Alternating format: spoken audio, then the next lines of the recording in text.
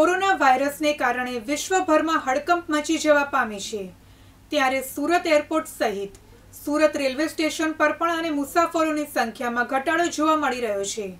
તેમજ કેટલીક ટ્રેનો પણ રદ કરી દેવામાં આવી રહી છે. કોરોનાના પ્રભાવથી શહેરના લોકો બને ત્યાં સુધી ઘરમાં જ રહેવાનું મુનાસિબ ગણી રહ્યા છે. એટલું જ નહીં, પરંતુ ટ્રેનમાં લાંબા અંતરની મુસાફરી કરવાનું પણ ટાળી રહ્યા છે.